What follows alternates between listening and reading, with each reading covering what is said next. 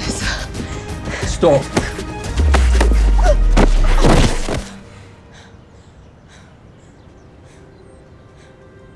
It's all right. Rose won't harm Lissa. She has something. Show me. It's a super dangerous welcome home gift. I love it. I mean, I'm not 12, but Shut up, it's fucking adorable.